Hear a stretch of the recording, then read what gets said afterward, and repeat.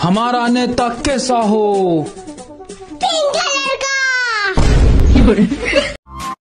ओ madam. खुद का थोड़ा ख्याल रखा करें। मैं मानता हूँ ये ज़िंदगी आपकी है। पर आप जान तो हमारी हैं।